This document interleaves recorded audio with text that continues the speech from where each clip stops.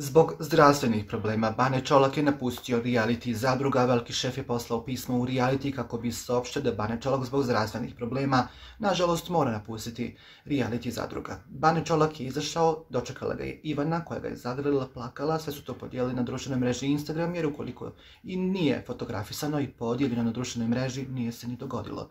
Tako da vidjeli smo suze, sreću što je logično s obzirom što se dugo nisu vidjeli, a Bane Čolak se oglasio i rekao da je zbog zdravstvenih problema napustio zadrugu i da ukoliko se oporavi i bude u redu, se možda i vraća nazad. Zahvalio se velikom šefu, velikoj šefici apsolutno na svemu, a onda je objavio fotografiju iz e, bolnice i napisao ajde polako da riješimo problem. Stajalo je u objavi Baneta Čolaka na društvenoj mreži Instagram.